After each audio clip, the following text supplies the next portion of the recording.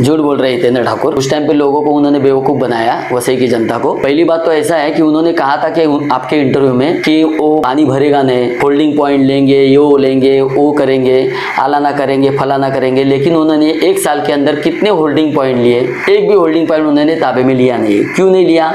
क्योंकि holding point जिनके है, जिनकी जगह है, उनको टीडीआर देना पड़ेगा। और टीडीआर देंगे तो झेड़झेड़ आएगा। तो झेड़झेड़ की वजह से होल्डिंग पॉइंट उन्होंने ताबे में लिए नहीं है। दूसरी बात, पानी भरने का मूल कारण जो था, इस साल भी तो पानी भरा है, अगले साल भी भरा था, उसके साल, पहले साल भी भरा था, लेकिन 2018-19 में नाले सफ़ाई में बहुजन विकास आघाड़ी की सत्ता थी, तभी उन्होंने सात करोड़ रुपया खर्चा किया था। 19-20 में ये खर्चा 14 करोड़ के ऊपर गया था और 20-21 में नया आयुक्त आए हैं। उन्होंने नाले सफ़ाई में चार करोड़ में नाले सफ़ाई की। पानी इस टाइम पे भी भरा, लेकिन पानी भरने के बाद तुरंत उसका निचरा भी हो गया है। पहले तो पानी आठ आठ दिन तीन तीन दिन चार चार दिन पाँच पाँच दिन, कई जगह पे आठ आठ दिन पानी का निचरा नहीं होता था। इस टाइम पे तो पानी का निचरा तो तुरंत हो गया दो, तीन, चार घंटे में, पाँच घंटे में हो गया पानी का निचरा। और रही बात, पानी भरा था तभी हितेंद्र ठाकुर कहाँ थे? जनता से मुँह छुपा के भाग रहे थे। खुद आयुक्त रोड पे आके कई जगह पे घूम रहे थे। अधिकारियों को उन्होंने डांटा भी है कई जगह पे। पानी भरने का कारण वो ढूंढ रहे थे।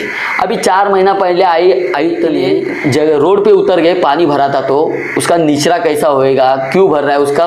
वो सब तहकीकत कर रहे थे। तीस साल में हितेंद्र ठाकुर पानी भरा, तभी कभी एक बार भी तो रोड पे आए क्या जनता के साथ धोखा था। उस टाइम पे वोट चाहिए था। इसके लिए उन्होंने जनता को बेवकूफ़ बनाने के लिए वसई की जनता को उन्होंने बेवकूफ़ बनाया है। देखिए, जैसा वसई का किनारा है, वैसा ही केरल का भी किनारा है। केरल में भी पानी भरता था।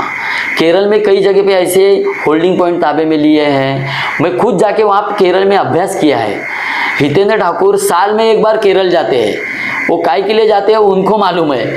लेकिन उन्होंने कभी वसई की जनता के जो पानी भर रहा है, उसके अभ्यास के लिए कभी गए क्या वो केरल? तो नहीं गए। दूसरी बात, केरल में पानी जो भरता था, वैसा पानी अपने इधर भी भरता था। अपने इधर भर रहा है, लेकिन केरल में अभी पानी भरता नहीं है। पानी भरने का मूल जो कारण है, सिडको ने 98 या 99 में कोई आरा खड़ा मंजूर किया था। उसमें उन्होंने कहा था, सिडको ने, कि पूरब से जो सह्याद्री पर्वत से जो बारिश का पानी आता है और पश्चिम में समुद्र में मिलता है उसके जो पानी जाने के जो स्तोत्र थे वो पहले खाड़ी थी। बड़े बड़े बड़े बड़े नदियाँ जैसे नाले थे। आज अभी क्या हुआ है, वो सब नदियाँ जो नाले इतने छोटे कर दिए उन्होंने, उनको गटार में डाइवर्ट कर दिए इन्होंने। एक ही उदाहरण दे देता हूँ। वेस्ट में एचडीएल है। एचडीएल में वहाँ पे खाड़ी है। वो खाड़ी में ऐसा कहा जाता है कि समुद्र से वहाँ बोट आती थी। वहाँ पे रेती का बंदर था।